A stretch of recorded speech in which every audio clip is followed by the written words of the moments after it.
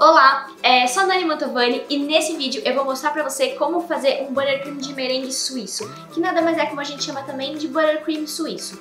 É, se você não sabe, existem três tipos aí de merengue, de merengues que você pode fazer.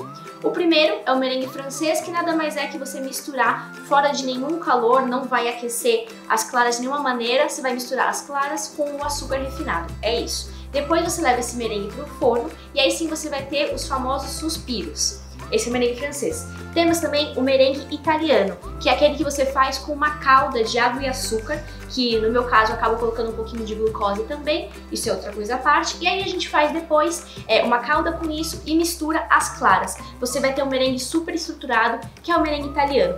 Por último, aqui eu vou fazer o merengue que é muito rápido de fazer. Ele é muito estruturado, não como o merengue italiano, mas ele é super estruturado, que é o merengue suíço, que basicamente é o quê? Você fazer um banho-maria das suas claras com o açúcar, você vai colocar aqui nessa panela que já tá com água quente.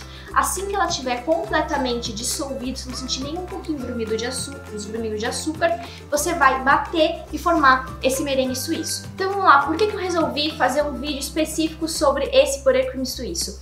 É, nos meus cursos eu acabo ensinando principalmente o buttercream que eu criei, que não é esse buttercream de método suíço ou italiano, não é o americano também, que é uma versão que você encontra de manteiga com açúcar de confeiteiro, também não é isso. É um, uma outra receita que eu criei que eu chamo de buttercream abrasileirado. Então ele tem um sabor super delicado da manteiga, mas ele leva outros ingredientes também para enriquecer o sabor.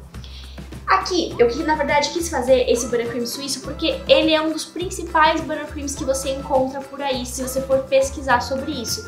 E ele é um conteúdo super simples de fazer e é uma boa opção caso você não queira, por qualquer razão, não queira fazer nenhum dos outros métodos. Então vamos lá, eu vou explicar pra você, ele é super prático de fazer. A única partinha mais é que você tem que levar um pouquinho mais de atenção essa parte, sinceramente, da panela, da água quente. De resto, ele é super prático. Então o que, que eu vou fazer? Eu tenho aqui a minha batedeira, eu vou colocar aqui três claras de ovo. Essas claras, se você for pesar juntas, ela, vai, ela tem que dar aproximadamente 105 gramas, ou seja, cada clara eu tô considerando mais ou menos 35 gramas. Vou quebrar um ovo por vez, deixa eu trocar de lugar aqui.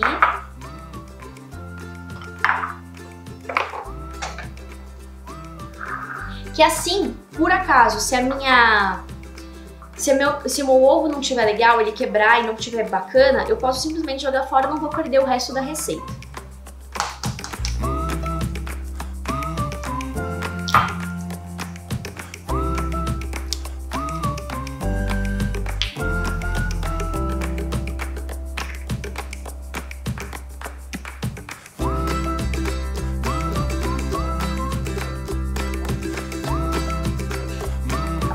Já tenho as minhas claras. Essas gemas eu posso usar para qualquer outra função, pode ser creme de confeiteiro, pode untar é, torta, o que você quiser. A gente não vai usar nesse preparo agora. E aí eu vou colocar também, aqui eu tenho o meu açúcar refinado, você não precisa peneirar, pode colocar direto. Aqui eu tenho 150 gramas. Vou colocar todo o meu açúcar. E agora eu vou ligar novamente a minha água, que já está previamente aquecida, e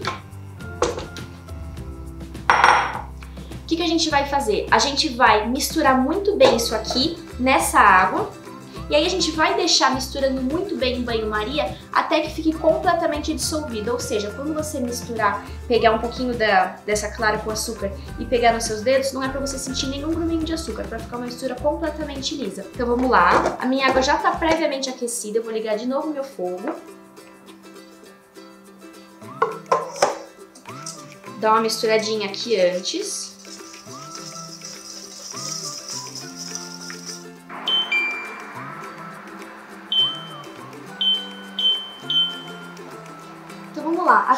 Fogo, ele tá baixo, não tá no mínimo, mas tá bem baixinho. A minha intenção aqui não é cozinhar a, as claras de forma nenhuma. Eu só preciso aquecê-las para que elas não fiquem mais cruas. É basicamente por isso. E aí, depois que ela estiver completamente dissolvida, aí sim eu vou bater com a minha manteiga. Enquanto isso, você precisa já deixar separado. Eu tenho aqui é 350 gramas de manteiga, eu cortei ela em cubinhos ela tá completamente em temperatura ambiente. Então, por enquanto, é isso que a gente tem. A manteiga, a cal, a, as claras e o açúcar. Só isso.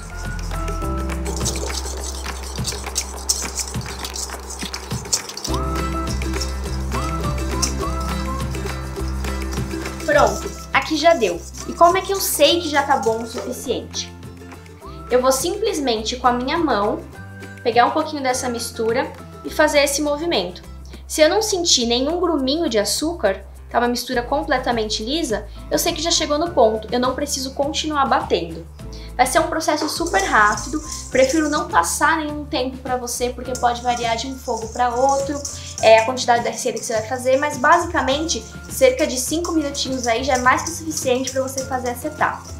Feito isso, o que, que a gente vai fazer? Eu vou pegar esse meu merengue aqui, colocar ele na minha batedeira e aí, com esse batedor, o globo, vou encaixar e bater isso até que fique uma mistura bem volumosa, como se fosse, como se fosse não, de fato um merengue suíço.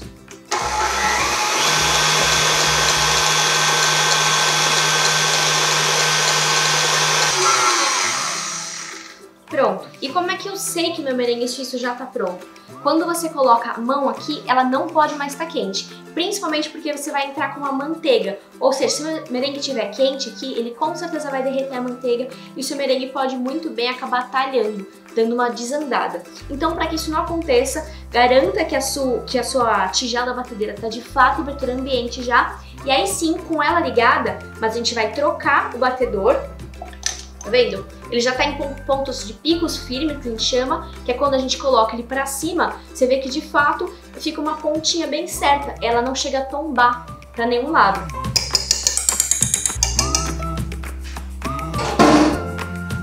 Eu vou trocar agora para minha pá ou raquete, se você preferir. Vamos encaixar. E aí agora eu vou ligar e aí aos poucos eu vou colocando a minha manteiga que está em cubinhos aqui. Importante sobre a manteiga, ela é sem sal e eu não recomendo que você substitua por margarina. Margarina é um outro ingrediente que não tem a ver com a manteiga. Ela é feita de gordura vegetal, não tem a mesma qualidade, não tem o mesmo sabor. Então, se você for fazer essa substituição, você vai ter um creme, só que ele não tem nada a ver com esse creme de buttercream. Você inclusive nem poderia chamar ele de buttercream, porque um buttercream ele precisa ser feito com manteiga. Daí que vem o nome, butter cream, que é um creme de manteiga. Não tem como você transformar esse creme de um creme de margarina, a menos que você queira fazer de fato um outro teste, uma outra cobertura. Aí tudo bem. Outra coisa importante sobre essa manteiga aqui, é tenta pegar uma que seja que tenha um bom custo-benefício, é lógico, mas que seja de qualidade. Quanto mais branquinha for a sua manteiga, melhor. Isso porque se você essa manteiga aqui, ela é o mais amarelinha que eu gostaria de usar. Mais que isso, o seu buttercream vai começar a ficar muito, amarela, muito amarelinho já. E isso às vezes pode ser um problema. Não se você quiser deixar uma cor bem natural, aí tudo bem. Mas caso você precise de um creme que o, o final dele seja super branquinho, você vai ter um resultado muito melhor se a sua manteiga de fato for branquinha também. É melhor do que você usar uma manteiga mais amarelada e depois colocar um monte de corante branco para compensar. Senão você vai acabar adicionando um monte de ingrediente artificial na sua receita e você vai também é, acabar colocando é, um, um, ingrediente extra que não é necessário. Você vai tentar reproduzir uma cor que você poderia atingir simplesmente usando os ingredientes naturais. E qual que é o outro ingrediente que a gente pode usar aqui? É opcional, mas fica super legal você usar. É algum saborizante, na verdade, que aqui a gente vai usar o, um extrato de baunilha. Como é que eu fiz esse extrato aqui? Eu peguei simplesmente vodka ou algum outro álcool de sabor mais neutro que você puder encontrar e eu juntei a ele essas favas de baunilha.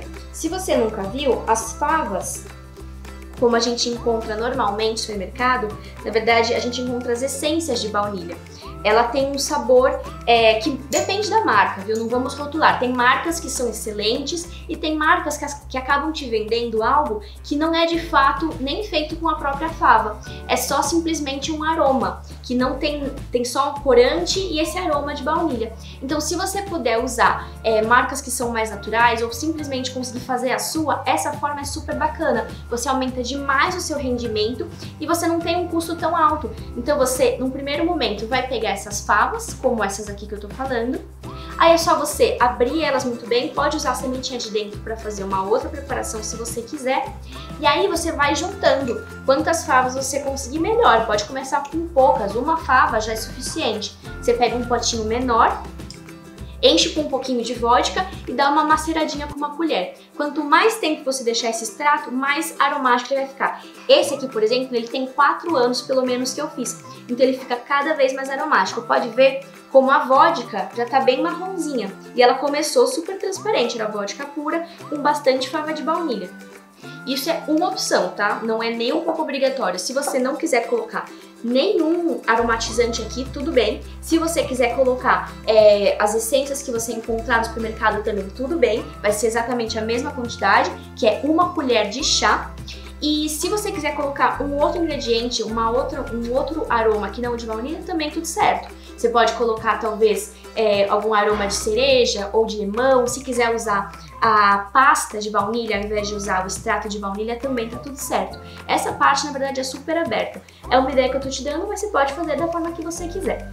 Então vamos lá. Chega de falatório, eu vou começar a colocar minha manteiga aqui na minha batedeira.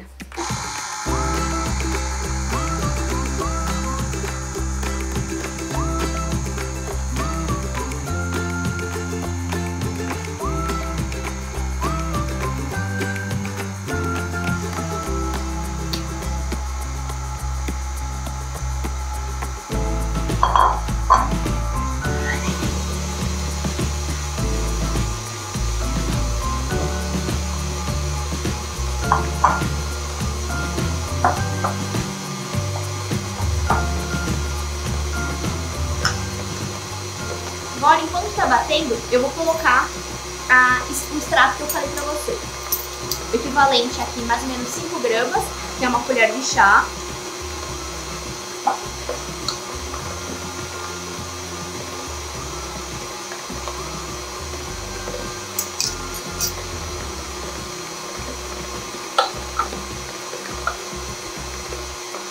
E agora a gente vai bater até que a gente goste da textura. É, lembrando que se a sua mistura talhar, é, não significa que você tenha perdido tudo isso. Continua batendo por mais tempo, que ela pode ficar emocionada de novo, ficar bem cremosinha. Lembrando que o buttercream também, ele vai ficar cada vez mais liso quanto mais você bater.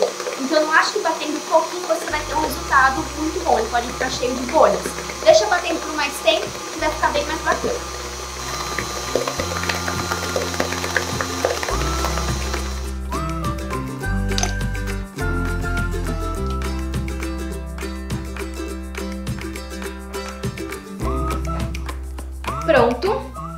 Lembrando que é, quanto mais você bater, mais lisinho o buttercream fica.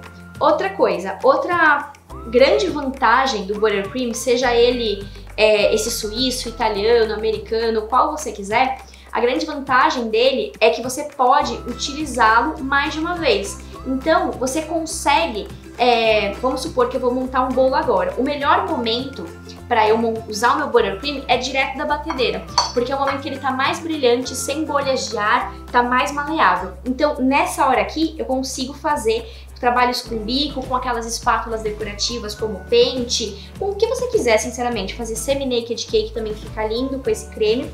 E agora, se eu quiser reutilizar o meu buttercream por qualquer razão, se sobrou, eu fiz a mais, qualquer, não importa o que for. É, você pode simplesmente, do congelador, ele tem que estar tá muito bem vedadinho, viu? Principalmente, em parênteses, parênteses aqui, como o buttercream é feito com muita gordura, que no caso vem da manteiga, ele é age como se fosse uma esponja no congelador. Então ele vai absorver muitos cheiros. Então, cuidado para guardar sempre ele. É, não guarda junto de peixe, junto de carne congelada. Tenta guardar numa área que seja simplesmente voltada para confeitaria, que tenha frutas, outros cremes, coisas que não tenham cheiro, tá? Principalmente peixes, coisas com cheiro muito forte. Eu não recomendo porque ele pode de fato absorver esse cheiro. Ainda assim, é legal que você embrulhe ele muito bem com plástico filme, que assim você vai de fato vedar qualquer umidade e cheiro de entrar nele. Feito isso, você pode ou tirar ele do congelador, voltar ele para a geladeira, já vai ter uma grande diferença de temperatura aí, e depois colocar em temperatura ambiente. Em cerca de uma, duas horinhas no máximo, ele já vai estar legal para você usar. Mas, se você quiser não fazer toda essa etapa, que inclusive é uma opção boa para você garantir que ele vai ficar o mais fresco possível, é você simplesmente pegar ele do congelador para o micro-ondas. Qual que é o cuidado que você tem que ter quando você vai fazer isso? É, sem colocar pouco tempo no micro-ondas. Então você começa talvez com 10 segundos, vai de 10 em 10, vai dando uma mistura nele, porque se você colocar direto lá um minuto, provavelmente seu buttercream vai derreter por inteiro, e se ele derreter, você não vai conseguir utilizar depois. É, assim como qualquer manteiga, se você deixa ela derreter e depois você deixa ela gelada de novo, ela muda de cor e ela muda de textura. Ela fica muito mais amarela e muito mais firme. Então, por conta disso, não vai dar certo. Você tem que colocar aos pouquinhos no micro-ondas para que você consiga deixar ele só cremoso e não derreter de vez. Beleza, feito isso, você pode usar para o que você quiser. Como eu disse, você pode fazer com decorar bolos, com saco de confeitar, com pente, que são aquelas espátulas decorativas. Tem muitas dicas legais. Enfim, esse aqui foi o vídeo sobre buttercream de merengue suíço. Eu espero que você tenha gostado. Qualquer dúvida que você tiver, qualquer comentário que você queira fazer também, é só escrever aqui embaixo. Um super beijo e vejo você no próximo vídeo.